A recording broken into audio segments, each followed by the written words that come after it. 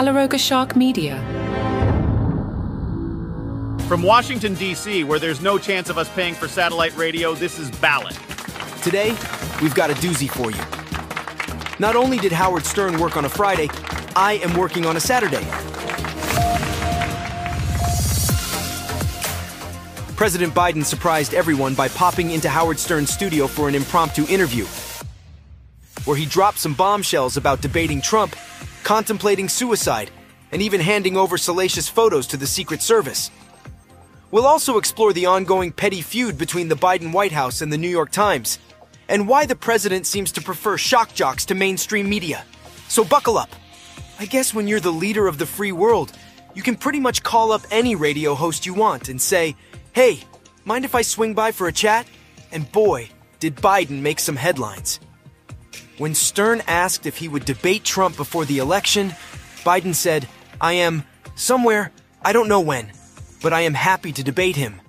Talk about a firm commitment. I'm sure Trump is already practicing his best wrong and fake news interruptions.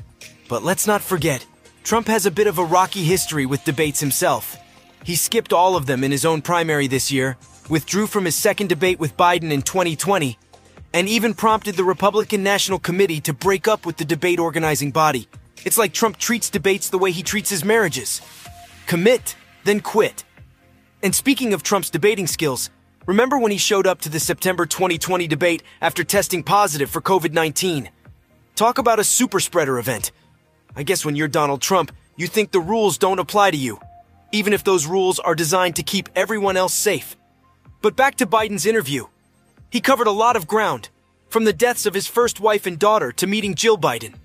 He even admitted to considering suicide at one point, saying he thought about drinking a bottle of scotch and jumping off the Delaware Memorial Bridge.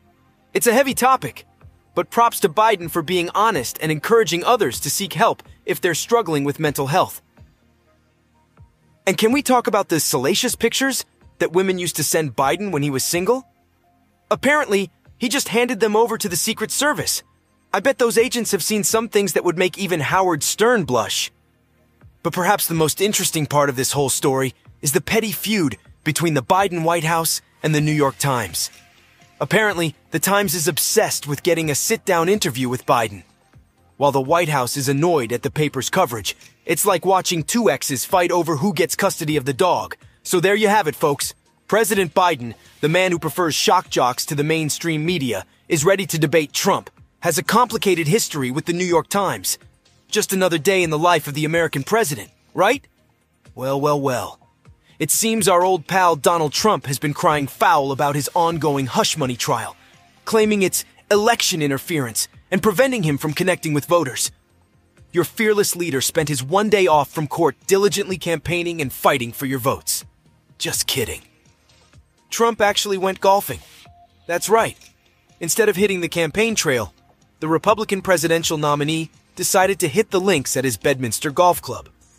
I guess when you're Donald Trump, you have to prioritize the important things in life, like working on your swing and avoiding actual work.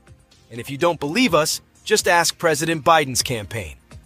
They released a statement about Trump's campaign events that day, and it was short and sweet. He had none. Ouch. Talk about a burn from the Biden camp.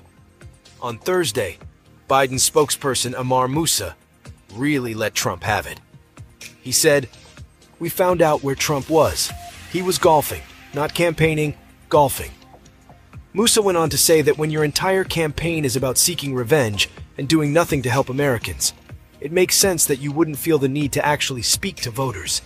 The truth is, Trump's golf obsession and manufactured outrage over his legal battles just go to show how little he actually cares about his followers. He's happy to incite and enrage them from afar, but when it comes to actually meeting them in person and hearing their concerns, well, that's just par for the course with this guy. And that's a wrap for today's episode of Ballot. Portions of this program may have been created with the help of AI. Or maybe not. Who even knows anymore? Join us next time as we continue to navigate the twists and turns of the American political landscape, one shocking revelation at a time.